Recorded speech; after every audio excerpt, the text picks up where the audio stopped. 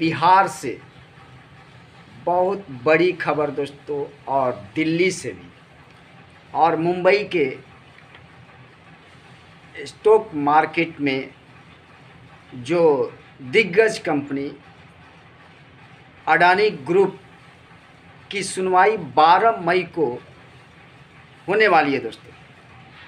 और 12 मई को supreme court में सुनवाई से पहले एक हज़ार करोड़ का इन्वेस्टमेंट बिहार में अडानी ग्रुप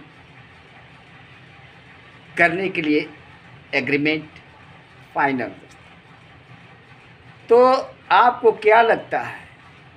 सुप्रीम कोर्ट में जो बड़े बड़े वकील बड़ी बड़ी संस्थाएँ, जो पॉजिटिव रूप से सच्चाई क्या है, उसकी बहुत बड़े बड़े वकील, जज इन्वेस्टमेंट इन्वेस्टर और कामत जैसे शेयर बाज़ार के बड़े जानकार लॉयर का बहुत सारी कंपनियों की केसेस लड़ते हुए एक से बढ़कर एक दिग्गज कोई मामूली बात नहीं दोस्तों सीरियस बात है। लेकिन ये शेयर बाज़ार में हम एक इन्वेस्टर और रिटेलर सिर्फ़ देखते हैं कि क्या खबर है और ख़बरों पे बहुत सारे खेल हो जाते हैं दोस्तों। तो खबर को छोड़िए, जो सामने उसको देखिए। अडानी ग्रुप आने वाले 2030 तक फिर वही रहेंगे दोस्तों जहाँ पे थे।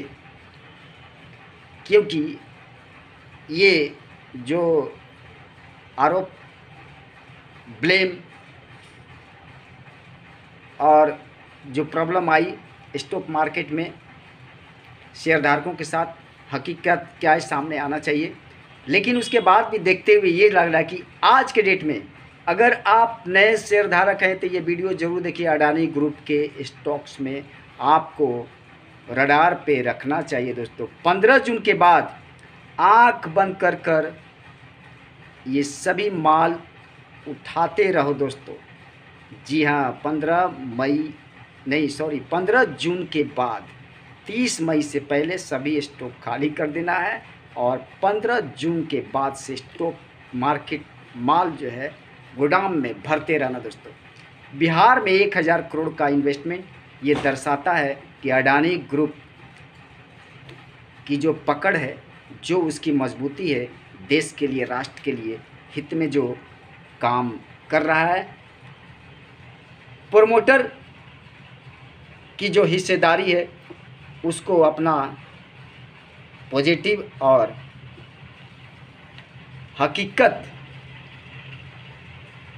जो है, दर्शा रहे हैं।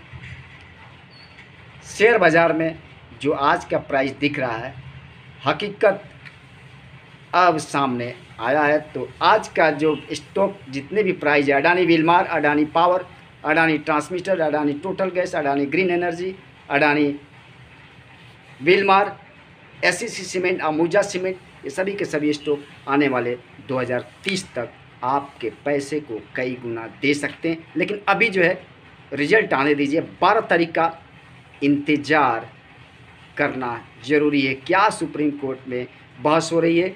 और इसका रिज़ल्ट क्या हो रहा है, हम भी देखेंगे, आप भी देखिए, थोड़ा धैर्य बनाइए।